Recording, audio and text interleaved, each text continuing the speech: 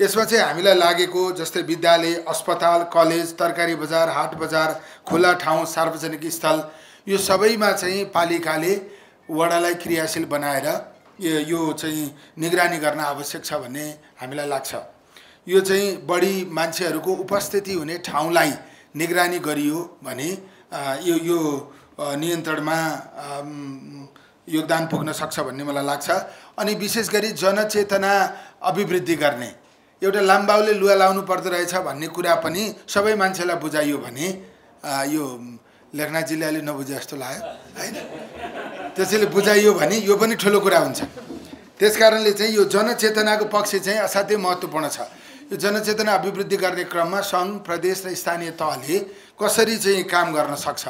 अघि हाम्रो यहाँ हाम्रो मन्त्रालयको साथीले भन्नुभएको थियो अब यो डेङ्गी विरुद्ध कसैले केही से मतलब पोस्ट गर्यो भने त्यो एकदम चेतनामूलक सूचना रहेछ भने त्यसलाई चाहिँ सबैले सेयरिङ सेयर गरिदिने।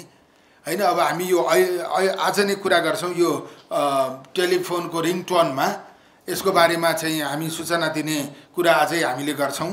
यो टायर नष्ट गर्ने कुराको सन्दर्भमा पनि यहाँहरूले विशेष ध्यान दिन जरुरी छ जस्तो लाग्छ। पानी राखेको ठाउँलाई घोप्ट्याउने जमेको जमेको ठाउँलाई पानी बगाउने यो कुरालाई अभियानकै रूपमा अगाडि बढाउनुपर्छ एक यसमा चाहिँ हप्तामा एक दिन हामीले स्वास्थ्य मन्त्रालयले शुक्रबार तोकेको छ। हप्तामा एक दिन। सक्नुहुन्छ भने शुक्रबारै तोकिदिनुहोस्। समय पनि एउटै बनाऊ।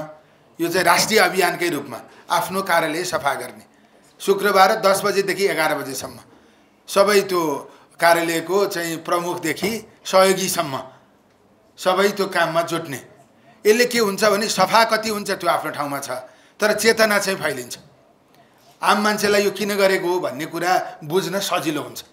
त्यसैले चेतना अभिवृद्धि गर्न पनि हप्तामा एक दिन हामीले यो भदौ र असोजको महिनामा चाहिँ आफ्नो कार्यालय सफा गर्ने भनेर घोषणा गरौँ। हाम्रो प्रस्ताव चाहिँ शुक्रबार दस बजेदेखि एघार बजेसम्म गरौँ भन्ने छ।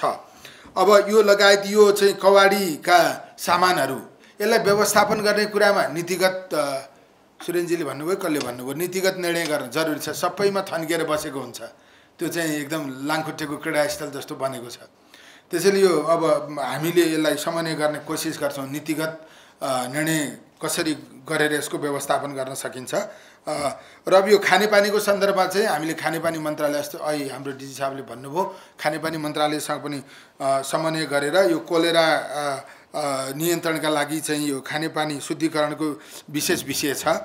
अब यो खानेपानी खाद्य पदार्थ यो अशुद्धका यो खुला ढङ्गले बेचिने यो खानेकुराहरू अब यसमा नियन्त्रणको निम्ति चाहिँ हामीले सहकार्य गर्न आवश्यक हुन्छ। यो चाहिँ अहिले मात्रै होइन सधैँभरि चाहिने कुरा हो। मुख्य गरी यो चेतनाको अभियान व्यापक गराउनका निम्ति विद्यालय तहमा विशेष ढङ्गको कार्यक्रम विद्यालयमा भएका विद्यार्थीले आफूले पनि जान्दछन् अनि उनीहरूले गएर घरमा पनि गएर सुनाउँछन्। यो त लामखुट्टे त यस्तो पो गर्नुपर्ने रहेछ।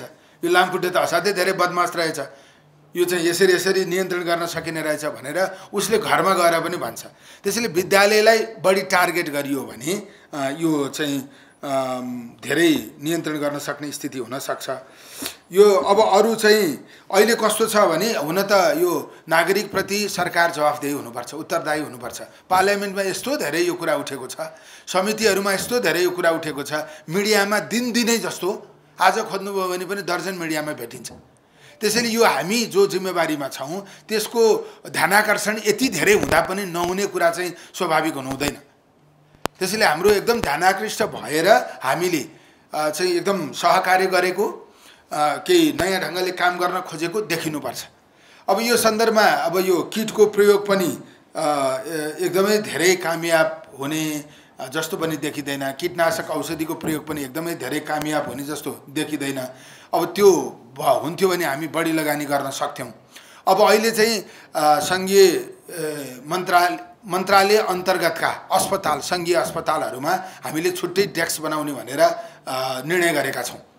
हाम्रो यो सबै सङ्घीय अस्पतालहरूमा डेङ्गी उपचारको निम्ति छुट्टै डेस्क हुन्छ र डेङ्गी भएको भन्ने प्रमाणित भएकाहरूलाई नि शुल्क उपचार हुन्छ। र त्यसपछि डेङ्गी टेस्ट गर्नुपर्छ भनेर डक्टरले रिफर गरेको अवस्थामा चाहिँ सबैको टेस्ट नि शुल्क हुन्छ।